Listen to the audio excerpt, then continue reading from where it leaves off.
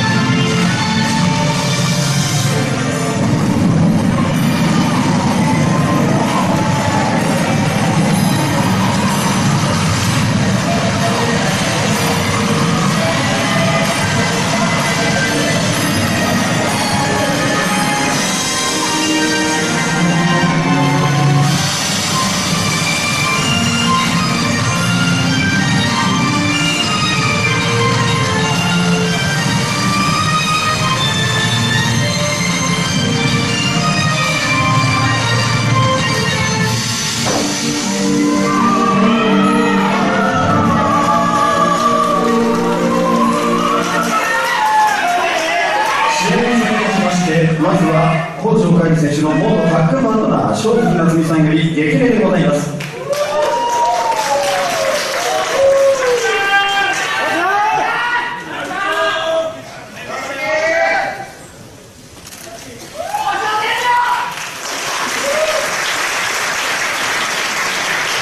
続きまして選手権保持者北条海里選手よりチャンピオンベルトの返還並びにタイトルマッチセレモニーとして両選手記念撮影でございます。